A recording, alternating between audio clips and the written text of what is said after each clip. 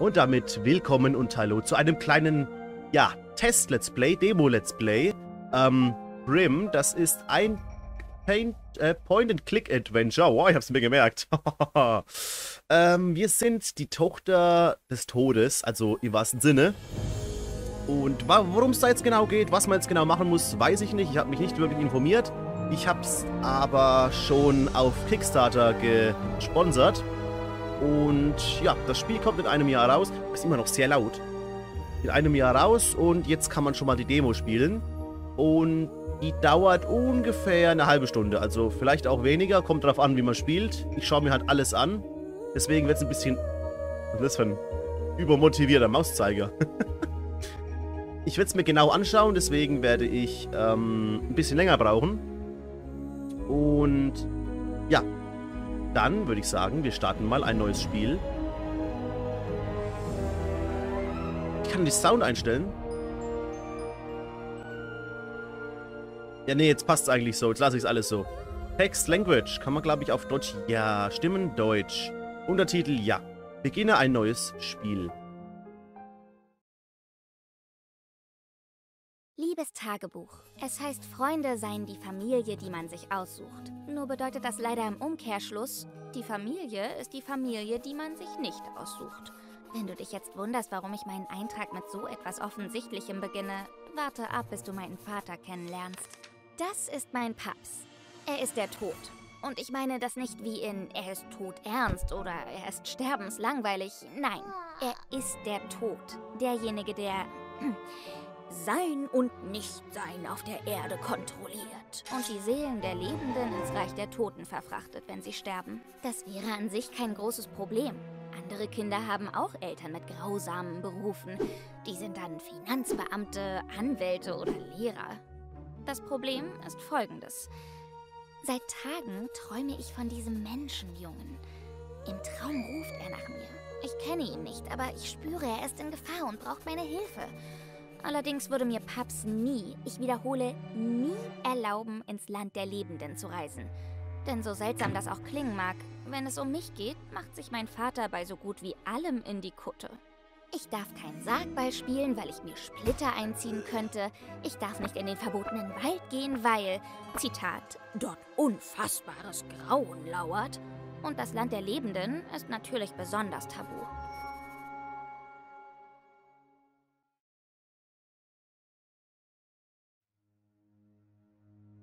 Versteh mich nicht falsch. Normalerweise höre ich auf Pubs. Aber diesmal nicht. Diesmal werde ich einen Weg finden zu fliehen. Der Haken an der Sache? Wir hatten gerade einen heftigen Streit, der in vollkommen unberechtigtem Hausarrest für mich endete. Dann hat Paps mich in meinem Zimmer eingeschlossen. Ich muss also erstmal einen Weg hier rausfinden. Vielleicht beginne ich meine Suche mit dem mysteriösen Päckchen auf dem Fensterbrett. Ich könnte nämlich schwören, dass das vor einer Minute noch nicht da stand. Alles klar. Anleitung, Linksklick, ähm, interagieren, Rechtsklick anschauen, Mausrad hoch, 1 im Inventar öffnen, Mausrad runter, Inventar schließen. Es Escape, zurück zum Menü. Alles klar. Ähm.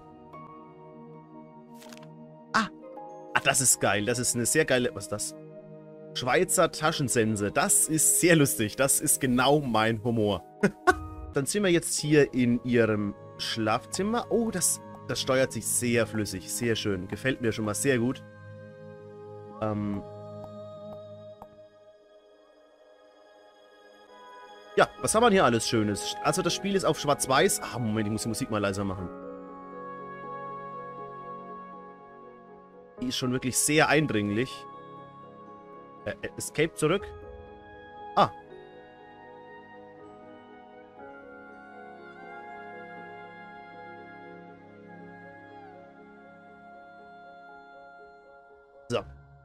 Was haben wir hier alles? Bücher. Kann man nichts davon anklicken? Nein. Das Paket, das mache ich jetzt nicht auf, weil ich möchte erstmal hier gucken. Hier können wir die Leiter.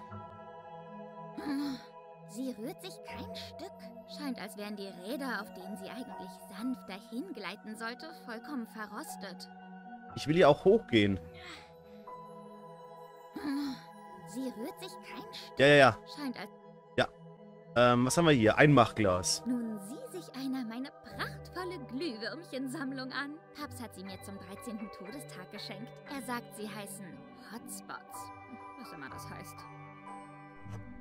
Da ist so ein Oh. klebriger, süßlich riechender Schleim, der den Boden des Glases bedeckt. Wurde bestimmt dazu genutzt, die Glühwürmchen anzulocken.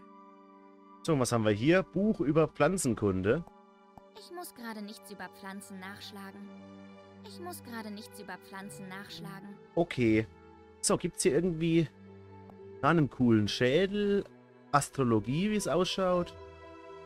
Ähm, Puppen mit Knopfaugen, sehr äh, vertrauenswürdig. Das sind die Familienporträts. Ah. Ich will das nicht mit mir herumtragen. Dafür ist es zu groß. Und zu hässlich. Okay. Ich werde ein andermal umdekorieren. Was haben wir hier? Tagebuch. Oh, Tagebuch. So. Haley. Ich bin doch kein Baby mehr, das auf seinem Schaukelpferd reitet. Außerdem passe ich nicht mehr in den Sattel. Nicht, dass ich das versucht hätte. Ja, klar. Sessel. Hm. Hm. Was jetzt? Ja. Wieder runter vom Sessel, ne? Was steht denn hier? Ein, ein Skelettarm. Da wird mir gleich ganz arm ums Herz. oh, den nehmen wir sogar mit. Was haben wir hier? Go. Go 667. Mein Nummernschild 667. Ektoplasma. Ugh. Anscheinend hat Paps ein Souvenir von der letzten Ernte mitgebracht. Mm. Äußerst ölig. Na lecker. So, hier waren wir. Die Leiterweg bewegt sich nicht. Hier haben wir noch was gehabt im Tagebuch. Ich habe jetzt keine Zeit darin zu lesen, aber ich werde später über meine Heldentaten schreiben. Über unsere Heldentaten. So, hier gibt's... Ah, Vampyrex.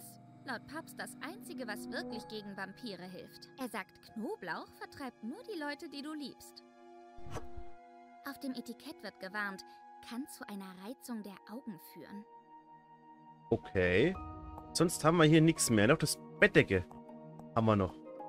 Ich will dir alles anschauen. Ich habe schon vor Jahren damit aufgehört, mir Decken über den Kopf zu ziehen und Geist zu spielen. Die echten Toten sind bei solchen Sachen ziemlich empfindlich. Ah, ein bisschen Spaß muss sein, oder? So, jetzt gehen wir mal zum mysteriösen Paket. Wie in Hades Namen ist das denn hier hingekommen? Ih! Irgendwie süß. Was bist du denn für einer? Schüchtern, der Kleine. Warte nur, dich krieg ich schon noch. Okay, was haben wir hier noch? Fenster. Da haben wir noch was. Rauszuklettern wäre keine besonders gute Idee. Es sei denn, man hat Lust, nach einem Sturz aus dem vierten Stock als bemitleidenswertes Knochenhäufchen auf dem Boden zu enden. Ja, das wäre nicht so schön.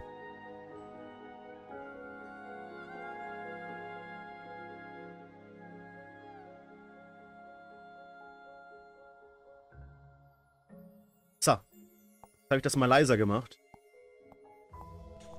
Hallo. Was bist du denn? Okay, ich komme da nicht hin, aber vielleicht... Vielleicht bin ich auf dem Sessel... Auf dem Sessel vielleicht? Oder abschießen mit einer Steinschleuder oder sowas. Ich komme immer noch nicht dran. Ja, was machen wir jetzt? Bücherregal, Kerzen.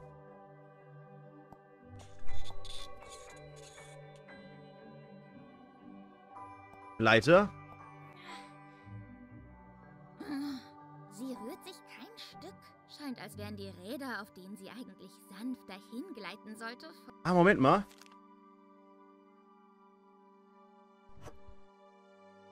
Das ergibt keinen Sinn. Nee. Hm, damit sollte es gehen. Ah, haha. Wow, das nenne ich effektiv geölt. Okay. Dann geht's mal nach oben. Oder ist hier noch was? Nee, da ist so ein komischer Vogel drin. So, was haben wir jetzt hier? Ja, was, Ich komm nicht dran. was machen wir jetzt hier? Ich komm nicht dran. Die spinnt einfach ein Netz. Haben wir irgendwas im Inventar, was wir... Komm nicht dran. Aber, warte mal, Arm. Nee. Vielleicht vom Stuhl aus. Ich meine, viel hat ja nicht mehr gefehlt. So, jetzt aber.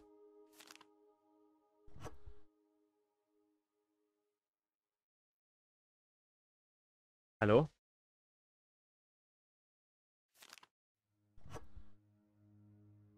Mit dem Arm werde ich dem kleinen Kerl nur wehtun. Vielleicht kann ich ja die Spinnwebe zertrennen, an der er hängt. Hierfür bräuchte ich aber etwas Scharfes. Mein Verstand. Super. Der Arm ist perfekt als Verlängerung für die Taschensense. Jetzt brauche ich nur noch etwas, an dem ich meine neue Erfindung ausprobieren kann. Skelettarm mit Schweizer. Alles klar. Idee, aber der kleine Kerl flieht schnell zur Decke, sobald ich näher komme. Wenn ich ihn doch nur irgendwie ablenken könnte.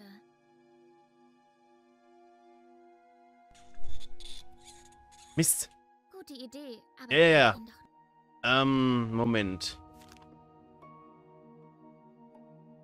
Warum sollte ich das tun? Na, na, na, na, na. Nee, nee,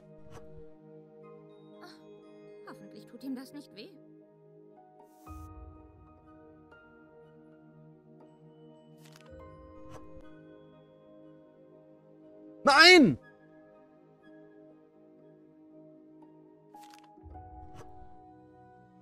Es führt zur Augenreizung. Oh, aua, aua, aua. Ja! Genau, wir sprühen etwas auf einen Augapfel, das Augenreizung verursacht. Moin! Na? Wo willst du denn jetzt schon wieder hin? Hey, hier geblieben. Wo will er denn hin? Bleib hier. Und wieder ist er weg. Na gut, jetzt sitzt er ja eigentlich in der Falle, ne? Hast doch nichts verpasst, ist nur der Raum bis jetzt hier. Hallo? Warum habe ich das Gefühl, dass er sich über mich lustig macht? Nee, er lacht nur, aber sonst. Denkst du nur?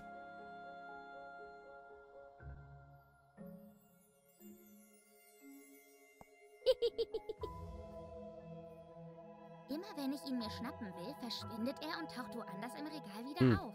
Wie in Hades Namen macht er das? Vielleicht kann ich ihm irgendwie eine Falle stellen. Eine Falle stellen? Warte mal, wenn ich hier unten hingehe. Wenn ich hier unten hingehe und will ihn mir schnappen. Flieht er nach oben. Und wenn ich oben hingehe.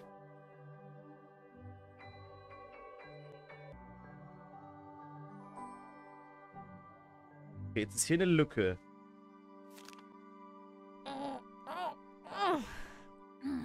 Ich würde euch ja liebend gern befreien, aber ich krieg den Deckel nicht auf.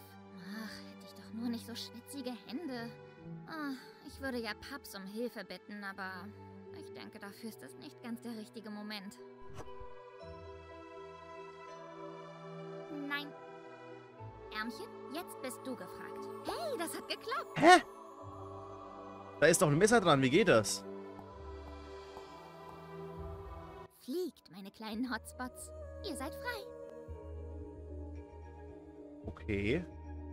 Oh, die bleiben ja hier. Natürlich, sie wollen bei ihrer Retterin bleiben. Zusammen werden wir noch das eine oder andere Abenteuer erleben. Okay. Ab jetzt kannst du die Leertaste drücken, um dir die Hotspots anzeigen zu lassen. Aha. Ach, die zeigen an, was man machen kann. Oh, gedrückt halten halt. Ah. So, wenn ich jetzt hier in die Lücke... Das ergibt keinen Sinn. Ja, pass mal auf. Wenn ich das Glas in die Lücke stelle, wird mein kleiner Spinnenfreund vielleicht in der klebrigen Masse stecken bleiben. So, jetzt gehen wir hier runter.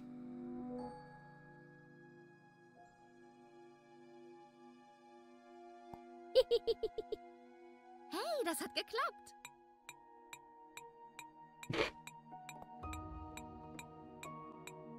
So, dann nehmen wir dich mal mit. Und drauf mit dem Deckel.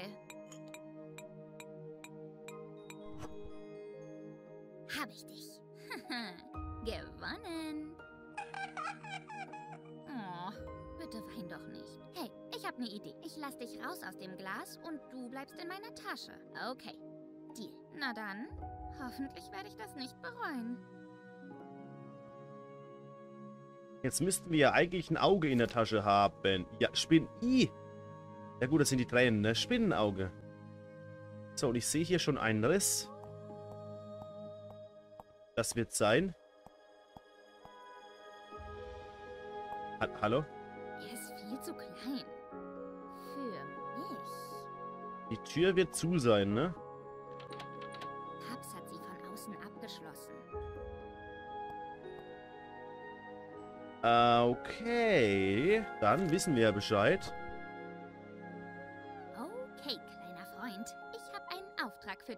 Kannst du dich durch den Riss dort quetschen und mir meinen Zimmerschlüssel aus Paps Studierzimmer bringen? Klasse! Irgendwie bist du ganz süß. Viel Erfolg. Die Frage ist, wo hat Ich der, hab lieber ein Auge auf das Auge. wo hat der Augapfel seine Ohren? Ach cool, wir sind jetzt das Auge.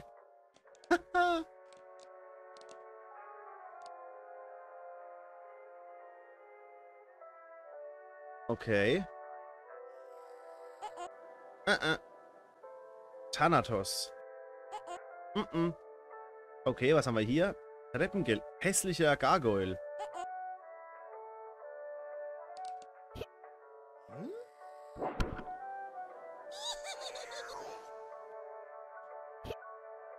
Nein, ich kann nichts machen. Hä?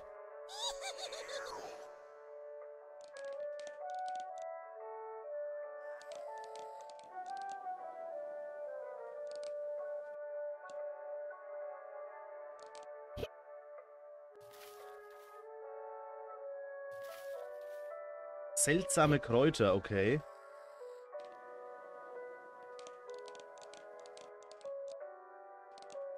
So, kommen wir jetzt hier irgendwie... Ah! Ah, wir sind eine Spinne. Wir können da ja hochklettern. Ih, da hängt eine Fliege an der Wand. Was ist das? Hey, wo willst du hin? Vergiss nicht, du sollst mir den Schlüssel für meine Zimmertür bringen und nicht einfach ohne mich abhauen. Mach ich doch gar nicht. Ähm, ja. Treppengeländer.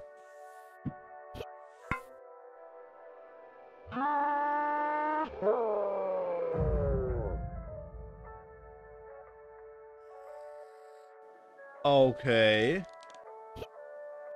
Können wir hier drehen?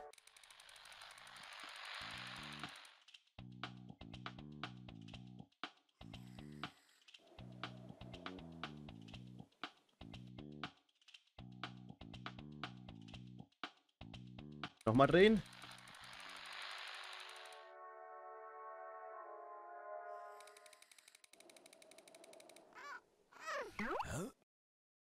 Oh. Schnell, versteck dich. Das wollte ich nicht.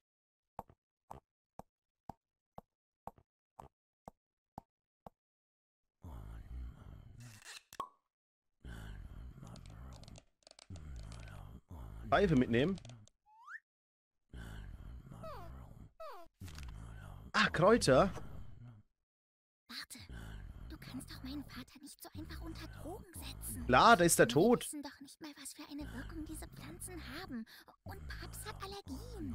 Ernsthaft. Ich sag nicht, lass uns nichts Dummes anstellen, aber lass uns vorher herausfinden, wie dumm es ist. Ah, nee. Der ist der tot und der ist tot. Denke ich mal. Was will passieren?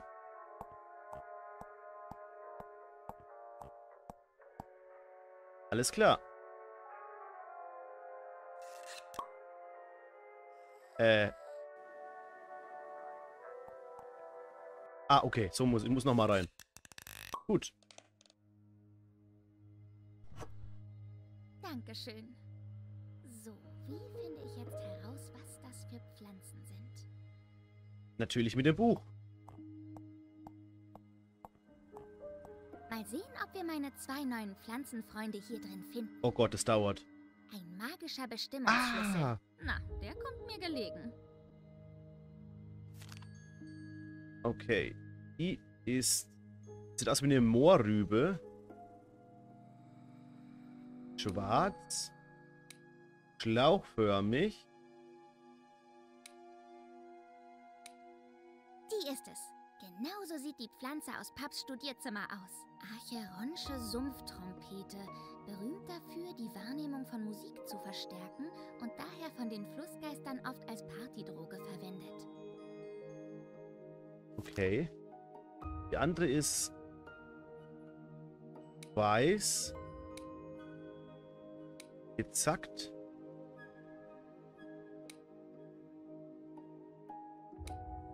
Und das ist die zweite, Weiße Witwe, auch bekannt als Hypnos Umarmung, bekannt für ihre einschläfernde Wirkung. Diese ist aber so leicht, dass sie nur zum Tragen kommt, wenn man bereits sehr müde ist. Na toll. So, wie bringen wir den jetzt zum Schlafen? Vielleicht durch die Musik. Er ist viel zu klein. Ja, ist er. Ja, ja, ja. Ja, ja, ja, ja, ja, ja, ja, ja.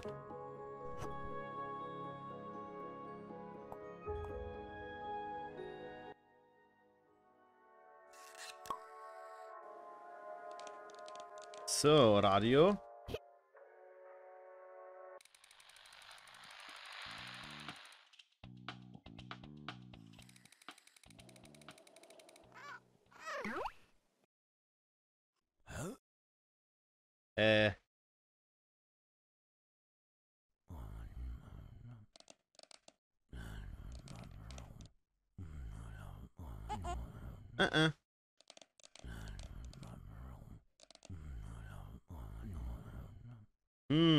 Zurück.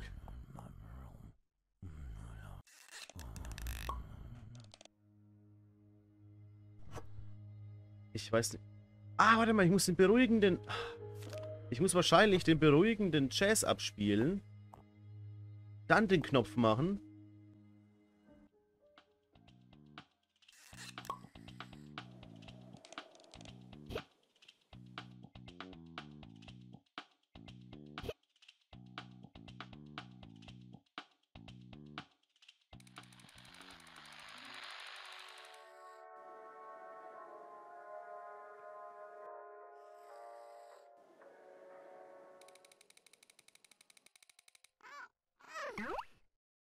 So, jetzt. Jetzt zur Pfeife gehen. Und die weiße Pflanze.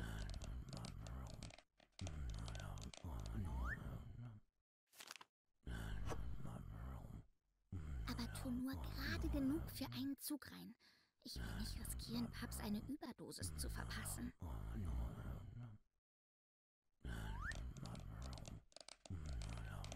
Mhm. Jetzt bin ich gespannt. Das hat überhaupt nichts bewirkt. Ich frag mich warum. Kann ich noch was anderes einstellen?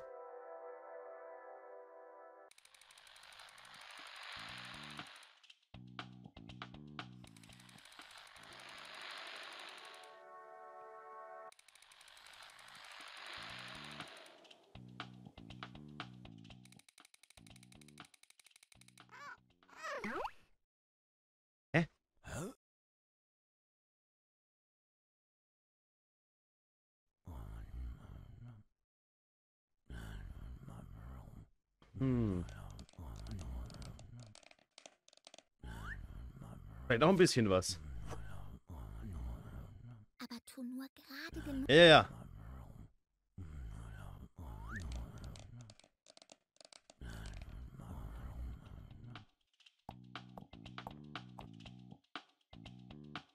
Das bewirkt halt nichts, ne? Weil der Chase an ist.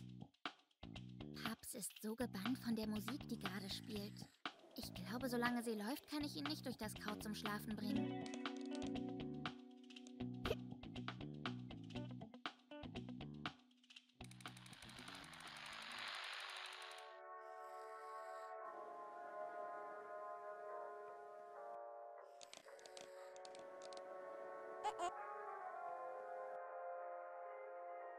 Hm. Jetzt ist die ruhige Musik an, ne?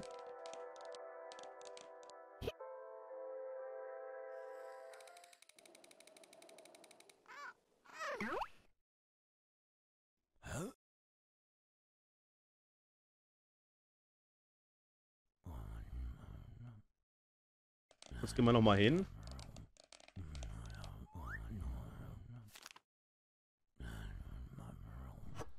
Warte, wenn ich die rein... Ich will mal gucken, was passiert, wenn ich die reinmache.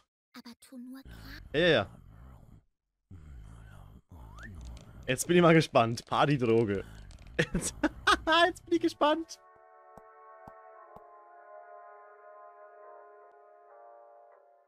Nichts passiert. Warte mal, ich muss es... Warte mal, warte mal, warte mal.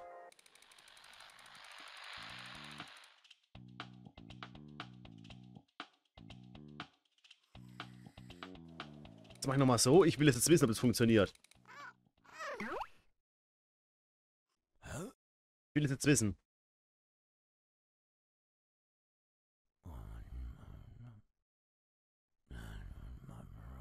So, wenn ich jetzt hingehe.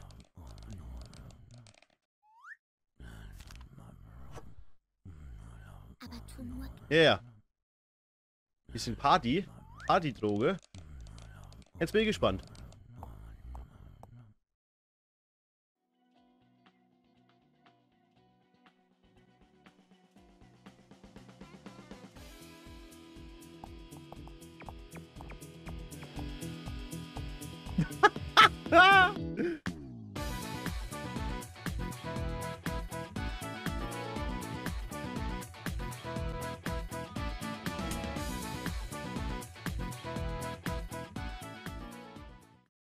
Ja, gut. Das kam unerwartet.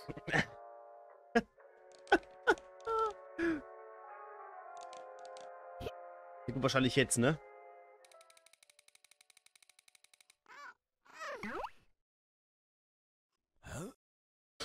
Ah, das war gut. Das Spiel wird auf jeden Fall gespielt nächstes Jahr. Ist ja nicht mehr lange hin, ne? Ich glaube März nächsten Jahres. März 22. So. Ja, ja, mach ich.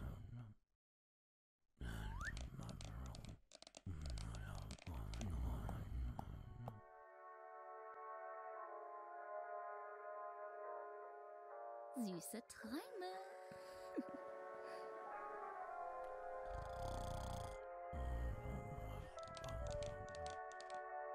Ah!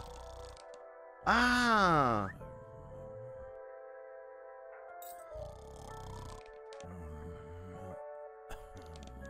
Ah! Ah, ah. Wo transportiert die, der Augapfel eigentlich die Schlüssel? Hä?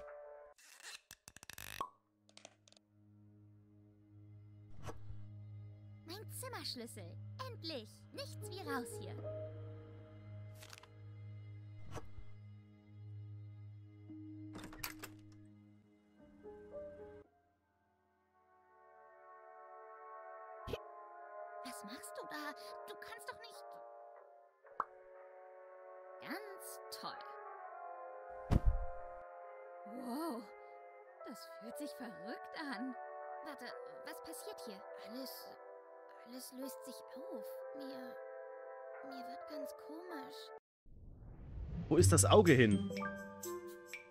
Hi, my name is Jonas. Hi. I'm from Germany and I make adventure games. Oh, cool. Let's give this another try. At the moment, I'm working on Prim, a drop dead charming, creepy but cute point and click adventure game. Whoa. Too long for you? No problem. Let me put it this way. Imagine Monkey Island. But Tim Burton made the art and Terry Pratchett wrote the story, inspired by Greek mythology. That's basically what it feels like to play Prim. genau meins. Oh, and it's in black and white.